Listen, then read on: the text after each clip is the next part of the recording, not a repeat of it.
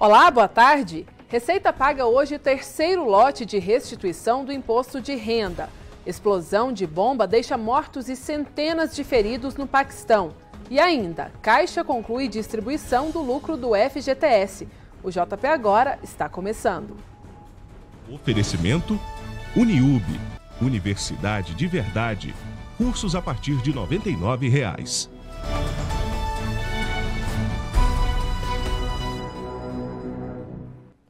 Receita Federal paga hoje o terceiro lote de restituição do imposto de renda. Quem vem com a gente e traz as informações é a Débora Pérez. Boa tarde para você, Débora. Oi Marina, boa tarde para você, para todos que nos acompanham no JP Agora. Mais de 5 milhões e 600 contribuintes recebem hoje a restituição do Imposto de Renda 2023. O montante pago no primeiro lote soma 7 bilhões e 500 milhões e já leva em conta a correção monetária de 2,07% referente à variação da taxa Selic. Pagamento da restituição é realizado diretamente na conta bancária informada no momento de entrega da declaração de imposto de renda. Se por algum motivo o pagamento não for realizado, os valores ficam disponíveis para resgate por até um ano no Banco do Brasil.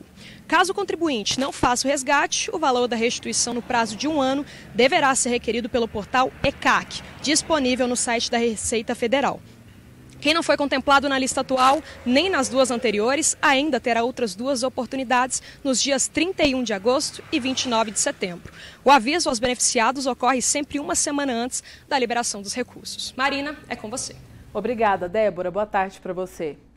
E a Caixa concluiu o crédito do lucro do FGTS do ano de 2022. No total, foram distribuídos mais de 12 bilhões de reais. Os detalhes com o repórter David Carneiro. Oi, David, boa tarde para você. Oi, Marina. Boa tarde para você, para todos que nos acompanham. 132 milhões de trabalhadores receberam crédito proporcional ao saldo existente naquela data. O banco antecipou a conclusão, já que a previsão era terminar hoje. O valor não vai diretamente para o bolso do trabalhador. Os saques só poderão ser feitos nas situações previstas por lei como nos casos de demissão sem justa causa, aquisição de moradia própria, doenças graves, entre outros motivos.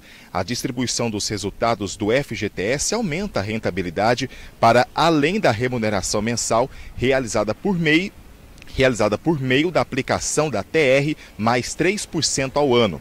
Os resultados do fundo são decorrentes do retorno de aplicação e também investimentos como em habitação, saneamento, infraestrutura e saúde. Volto com você, Marina. Boa semana. Obrigada pelas informações. Boa tarde. E o Cristiano Zanin tomou posse, vai tomar posse como ministro do STF nesta semana em cerimônia para até 350 convidados. Na corte, o indicado de Lula deve herdar um acervo de processos contendo 552 ações. Zanin foi indicado ao cargo por Luiz Inácio Lula da Silva e teve o nome aprovado pelo Senado. O evento será presencial na quinta-feira, com a presença de ministros em exercício e aposentados, outras autoridades, como presidentes da República, da Câmara, do Senado e tribunais superiores, e também convidados pessoais do novo ministro. E a explosão de bomba deixa mortos e centenas de feridos no Paquistão.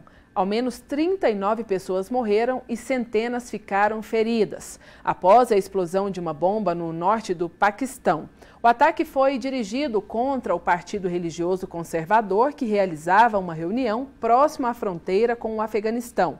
Mais de 400 membros de partido e simpatizantes estavam no local. Até o momento, o ataque não foi reivindicado por nenhum grupo insurgente.